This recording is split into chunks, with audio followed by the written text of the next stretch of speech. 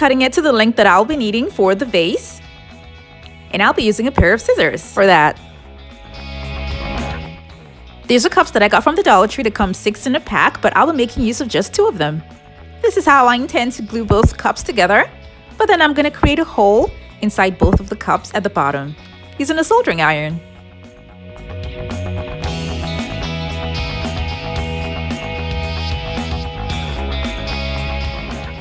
And now to glue them together, I'll be using the strong adhesive, and I'm using an E6000 glue. And I'm also going to be using a hot glue gun so that I can continue with the project. To make sure that it's safe to work with these trims, I'll be bending the sharp edges.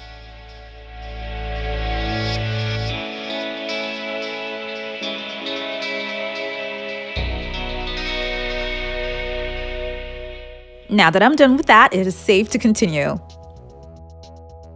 Cups that I glue together will be placed here in the middle, and I'll be gluing it down using a hot glue gun for now. The next thing that I will be doing is putting both ends of the trim at the tip of the cup. And then to make it sit properly, I'll be using a soldering iron to make holes. And with these holes, I'll be able to attach the trims to the cup.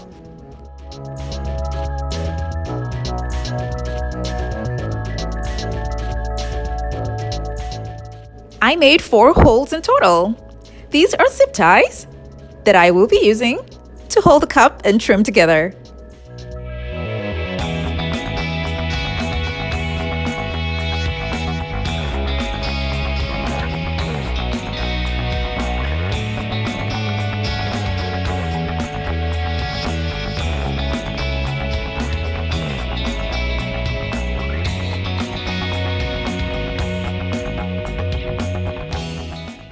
And this is what it looks like. This is extremely light in weight, so I'll be putting something at the bottom to keep it balanced. And I got this clear rocks from the Dollar Tree, and that's what I'm going to be gluing around the bottom to keep the vase balanced on the table.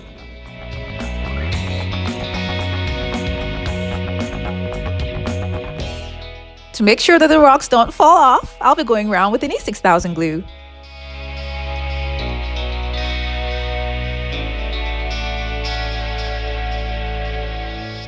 I'll be decorating the trim with 1-inch mirrors, and the link for these mirrors will be in the description box below. I kept gluing the mirrors onto the trim, but left this part here so that the base can remain leveled. To cover up these zip ties that are showing, I'll be using gems.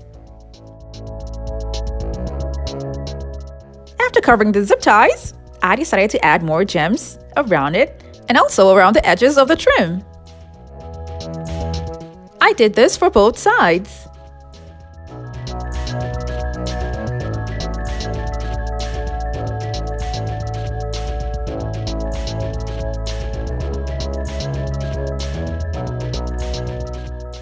To cover up the middle part that connects both cups together, I'll be using acrylic gems that I got from the Dollar Tree.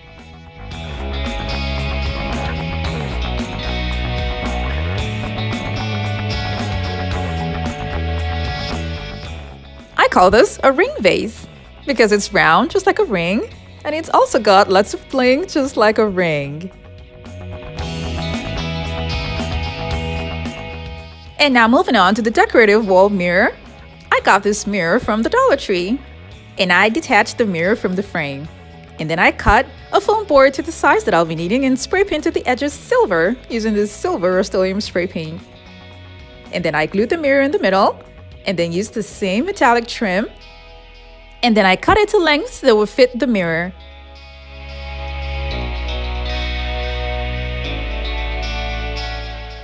This is how I arranged it around the mirror and then I glued them down with a hot glue gun. These are 1 inch square mirrors that I'll be using around the corners. The link for these mirrors will be in the description box below.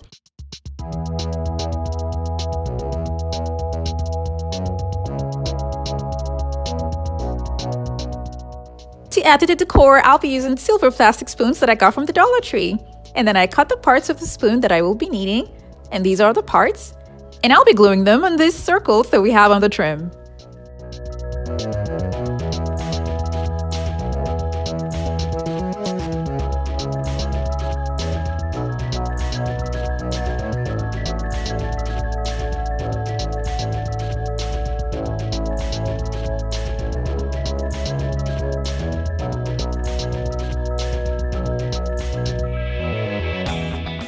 I'll be finishing off the design with gems that come in a string that I got from Walmart.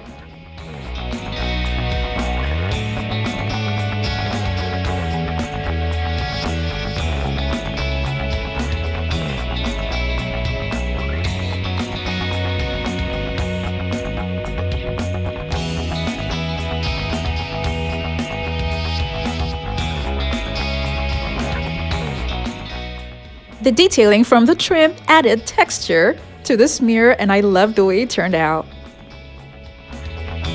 Moving on to the next item which is a decorative tray. I got this mirror from the Dollar Tree and the frame came in black, but I spray painted it silver using a silver Rust-Oleum spray paint.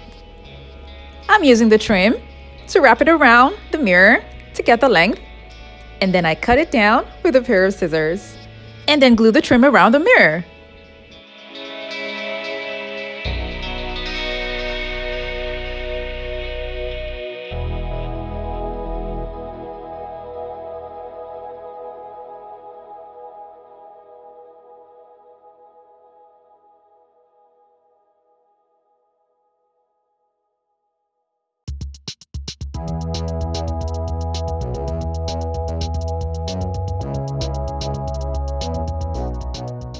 The frame of the mirror in the inside gives it a more interesting look. I'll be making holes using this holes that come with the trim as my guide. I'm using a very tiny drill bit and then I put a dab of glue there and then use thumbtacks to cover it up. This will secure the trim around the mirror much stronger. Cover the heads of the thumbtacks with gems.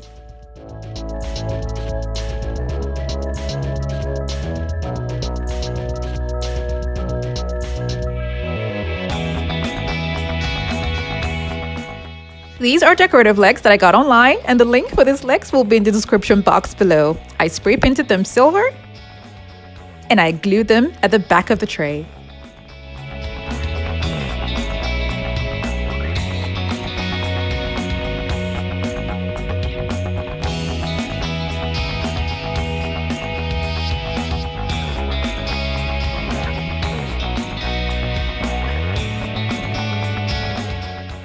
Now this looks beautiful just the way it is.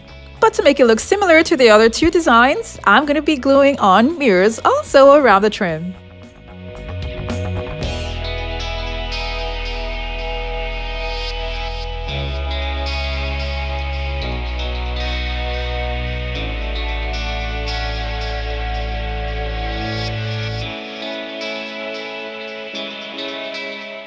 And just like the other two designs, I'll be finishing it off with gems.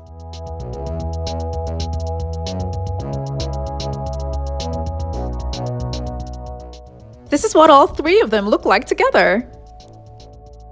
This is the perfect gift set for any occasion.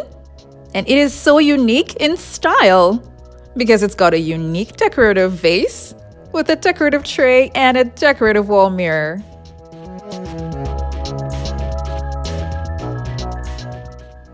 These are handmade pieces that look like they were bought from a store and they will make the perfect gift set for that special someone.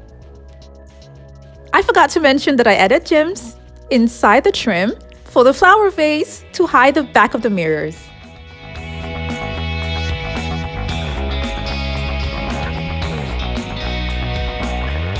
Thank you so much for watching. I have other videos linked in the description box below. Do check them out and don't forget to click on the subscribe button.